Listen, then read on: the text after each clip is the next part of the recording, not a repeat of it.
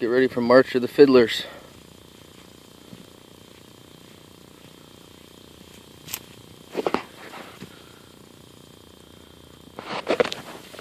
Oh, there's tons of them. You hear them?